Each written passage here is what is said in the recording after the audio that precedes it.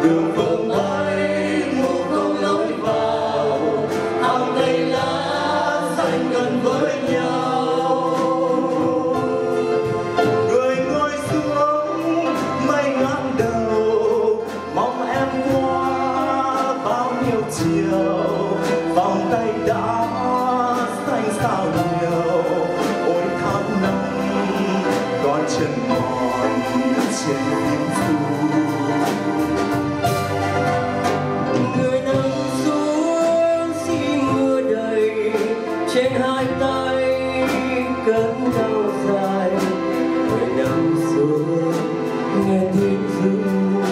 cuộc đời đó có bao